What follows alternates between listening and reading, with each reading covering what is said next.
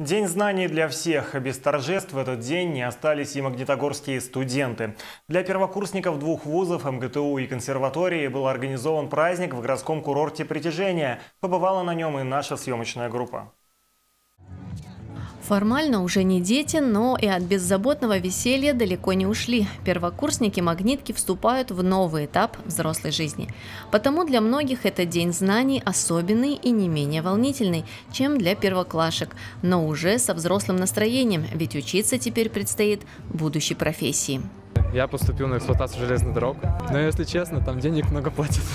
Наткнулся, грубо говоря, на сайте вот Вузопедия. Посмотрел, погуглил, что за профессия. Я первокурсница Института гуманитарного образования, специальности педагогическое образование с двумя профилями подготовки. Английский и китайский.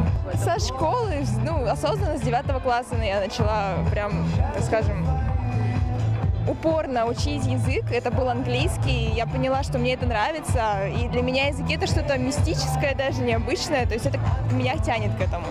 Профессий для магнитогорских студентов в городе немало. Импровизированный парад студентов вузов и колледжей продемонстрировал разнообразие направлений для учебы. Институт экономики и управления.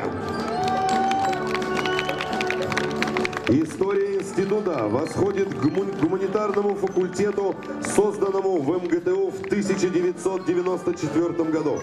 Не обошлось в этот день и без слов напутствия от старшего поколения. Сегодняшние руководители города и сами когда-то получали высшее образование в магнитогорских вузах. Мне хочется сказать вам спасибо заранее, что вы решили продолжать обучение, обучение в наших вузах. Мне хочется, чтобы вы наш город продвигали, нашу страну в целом, если вы решите куда-то ехать потом, получив образование и продолжив свой карьерный рост, либо обучение, это тоже будет правильно.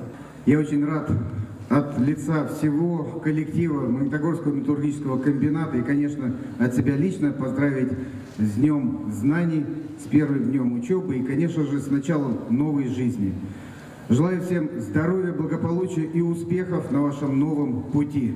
Я считаю, что вместе мы действительно сделаем наш город, нашу легендарную магнитку лучше, красивее и подарим им больше возможностей. С праздником!